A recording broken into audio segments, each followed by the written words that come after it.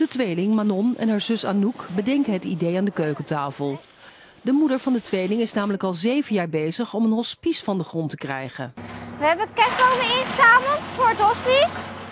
En uh, ja, dat uh, vonden we een goed idee dit jaar. Niet alleen de tweeling helpt mee, ook veel andere kinderen sluiten zich bij de actie aan. Kom op! En zo zijn we uiteindelijk uitgekomen op een uh, twaalftal kinderen die actief zijn geweest de afgelopen dagen. Ja, en met veel plezier en uh, dat het, ja, zoveel bomen. Ongelooflijk, ja. Wij zijn uh, in heel Bodegraven uh, langs huizen gegaan. En we kregen allemaal adressen op een lijstje. En toen mochten we, gingen op de fiets, gingen we alle bomen ophalen.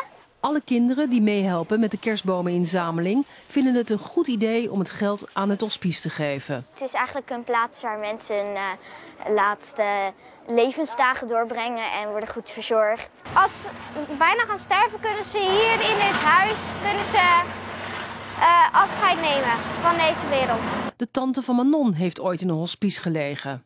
Ik vond het wel fijn voor haar, omdat ze dan goed verzorgd werd. Want wij kwamen heel vaak langs en dat is wel handig, want anders is het heel druk voor haar en zo.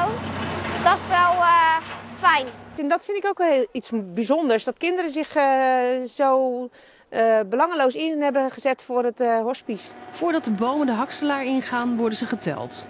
Het zijn er meer dan 700. De gemeente Bodegraven-Reewijk betaalt 50 cent per boom. Maar dat is niet alles. Er zijn bedrijven langs gegaan om, uh, om te vragen of ze het willen verdubbelen, wat wij krijgen. Het hospice gaat in juni dit jaar open. Hoe het geld besteed gaat worden, daar gaan de kinderen nog even rustig over nadenken.